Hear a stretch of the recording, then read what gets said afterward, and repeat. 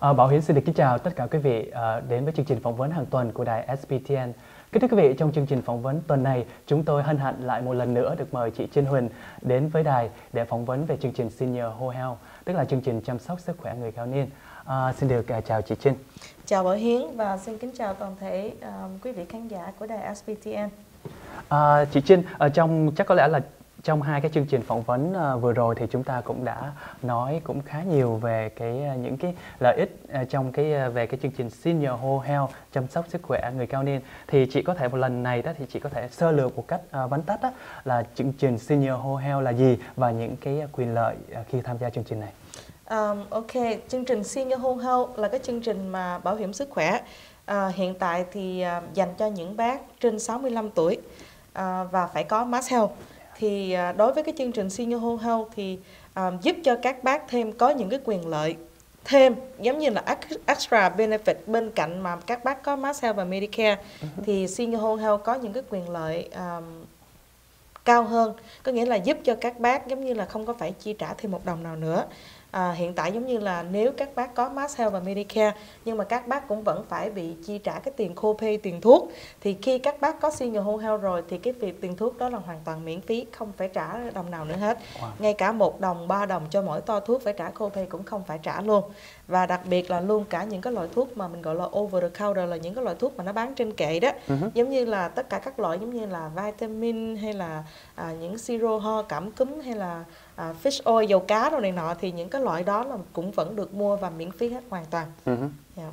À, trong hai cái chương trình lần trước thì chị Trinh cũng đã nói uh, chi tiết về cái việc mà đặc biệt là cái chương trình vừa rồi đó thì chị chị Trinh nói về cái uh, chăm sóc về uh, nhà nhà khoa về răng miệng và chăm sóc về uh, mắt thì uh, chị Trinh có thể nói một cách uh, uh, phân tích thêm một số những cái những cái thông tin liên quan với cái chương trình chăm sóc này để tất cả quý vị nào mà chưa có được uh, Ừ, xem những chương trình kỳ trước đó, thì có thể biết thêm những thông tin. À, đối với senior whole health hiện tại đó thì à, rất là tốt cho các bác bởi vì à, đối với à, từ năm 2010 đó yeah. Dạ. thì Mass Health á, họ đã cắt hết những chi phí về răng rồi. Yeah. Dạ. Cho nên là đối với những bác trên 65 tuổi đó mà cần phải làm răng giả hoặc là trám răng hay là lấy gân máu rồi này nọ thì các bác phải tự móc tiền túi có nghĩa wow. là các bác phải uh-huh. tự chi trả. Uh-huh. Nhưng mà khi có chương trình Senior Whole Health rồi, nếu các bác tham gia vào chương trình Senior Whole Health rồi thì Senior Whole Health sẽ chi trả những cái phần đó. Có nghĩa là được làm răng giả, được trám răng, được trồng răng, à, nói chung là được lấy gân máu đồ đầy đủ à, trong tất cả các rồi cái phần mà khoa. copay tức là cái phần mà mình chi trả cho khi mà đi ra mua thuốc thì uh, như thế nào chị Trinh có mình có cũng phải trả không? không phải trả luôn copay là cũng miễn phí hết hoàn toàn à. À, thưa quý vị thì trước khi và đến uh, tiếp tục phỏng vấn chị Trinh uh, thì chúng tôi cũng uh, nhận được một số những cái thông tin phản hồi từ quý vị đó là uh, tại sao chúng tôi lại thực hiện cái phỏng vấn chị Trinh về cái chương trình Senior Whole Health uh, ba lần trong một cái thời gian rất là ngắn uh, thời gian vừa qua thì uh, thưa quý vị là Bảo Hiến nghĩ rằng uh, chúng tôi nghĩ rằng đây là một cái chương trình rất là cần thiết uh, đối với những uh, quý vị cao niên, những quý vị già. Uh, đặc biệt là những quý vị nào mà uh, không có cái uh, người thân hoặc là những con cháu bên cạnh hoặc là những cái quý vị nào có sự hạn chế khi mà uh, về xe cộ hay là có những cái sự uh, đi lại khó khăn thì thông qua chương trình này thì chúng tôi nhận thấy là cũng giúp ích rất là nhiều. Thì thưa chị là đối với những những cái um, bác đó, mà phải sống uh, một mình hoặc là cái việc di chuyển đi xe cộ lái xe lại gặp khó khăn á, thì thông qua chương trình này nếu là cái thành viên của chương trình này đó thì sẽ được hỗ trợ những gì thưa chị? À, đối với senior home health thì giúp cho các bác rất là nhiều ở trong cái phương diện này.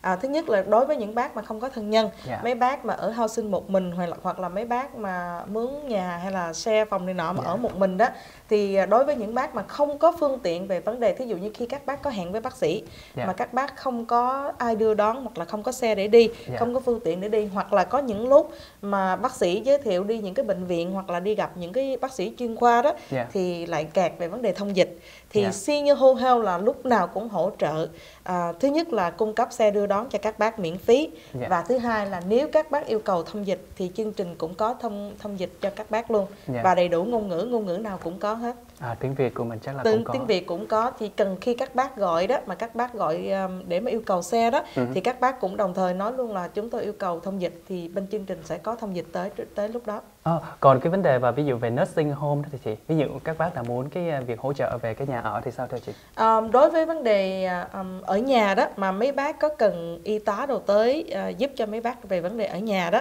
Ừ. thì uh, bên chương trình Senior Home Health cũng có bác sĩ họ tới định họ có y tá họ tới họ thăm định kỳ Ừ. thì tùy theo tình trạng sức khỏe của các bác thí dụ như nếu các bác khỏe thì uh, y tá và social worker họ sẽ tới họ thăm Dạ. à, một năm hai lần hoặc là một năm một lần Ừ. à, định kỳ nhưng mà đối với các bác thí dụ như yếu quá mà các bác cần thăm thường xuyên hoặc là à, cần những cái dịch vụ về chăm sóc nhiều hơn Ừ. thì y tá và social worker họ sẽ tới họ thăm ví dụ Ừ. như có khi là 3 tháng 4 tháng họ tới hoặc là nếu mà đau yếu nhiều quá thì có khi một hai tháng Dạ. à, về và đối với hỗ trợ cho các bác ở nhà đó thì đa số là thí dụ như nếu các bác mà không có phương tiện để đi à, chợ về vấn đề nấu ăn đồ này nọ đó Dạ. thì bên chương trình cũng sẽ có cái chương trình mình gọi là meal on wheel đó là Ừ.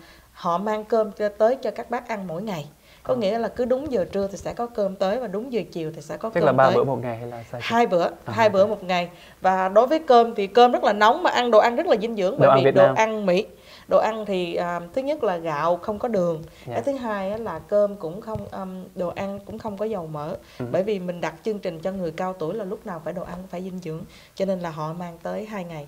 Um, hai bữa trong một ngày nếu mà mình yêu cầu và các bác cần Dạ. Bảo Hiến có nhớ là trong cái chương trình phỏng vấn lần trước đây thì Trinh cũng nói là đối với những cái ờ, bác ờ, quý vị nào ở nhà đó mà muốn cần cái sự ờ, muốn đi tập thể dục đó ở trong những cái chỗ tập thể dục đi gym đó thì cũng được hỗ trợ được trả tiền đúng hàng rồi tháng đúng không chị? đúng rồi à, đối với thành viên của senior home health thì um, rất là khuyến khích cho các bác đi tập thể dục Dạ. thì các bác đi tập thể dục ở tất cả các phòng gym đều được trả tiền và chỉ cần gọi trước gọi trước để mình yêu cầu ok à, tôi muốn đi tập ở đó ở đó cho cho tụi chị địa chỉ và số điện thoại thì bên tụi chị sẽ liên lạc và trả tiền trước thì các bác chỉ tới làm membership free và Wow. các bác đi tập ví dụ như ở YMCA hoặc là bất cứ cái fitness nào cũng được hết Wow, thấy đây một cái chương trình rất là cần thiết cũng như là rất là giúp ích rất là nhiều cho những à, quý vị à, những à, các bác cao niên.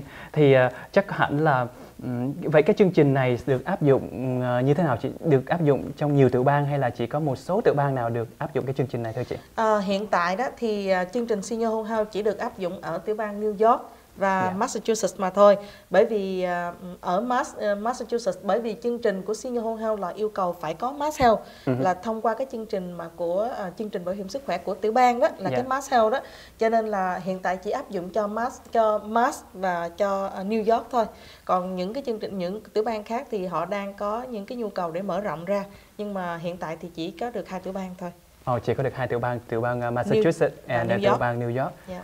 À, và cũng có câu câu hỏi mà khi mà cũng à, gọi vào đài đó là à, cái điều kiện để tham gia cái chương trình à, senior ho à, này, ho health này, à, cái điều kiện có phải là phải là 65 tuổi hoặc là à, như chị Trinh nói là phải có mass care rồi. Có Mass health. mass health, I'm sorry. Thì à, rồi à, phải có quốc tịch Mỹ không thưa chị? À, những điều kiện mà tham cái gia chương trình này. quốc tịch Mỹ á, thì à, mình không có đề cập tới và mình cũng không có yêu cầu bởi Ừ. vì á, nếu các bác có Mass Health là tại vì bởi vì cái chương trình của Senior Health là họ thông qua chương trình của Mass Health. Có nghĩa là những bác nào có Mass Health thì được có quyền tham gia vào chương trình của Senior Health. Ừ. cho nên là à, không có cần phải có quốc tịch mà bởi vì hiện tại theo chị biết á, Mass Health á, nó yêu cầu mà nó cho ừ, chương trình của Mass Health đó thì là những bác nào trên 65 tuổi và chỉ cần à, Mass Health Standard bởi vì cái chương trình của Senior Health đó là yêu cầu phải có Mass Health Standard Dạ. cho nên á, là nếu mà có muốn cần có Mass Health Standard thì chỉ cần là à, sống ở nước Mỹ 5 năm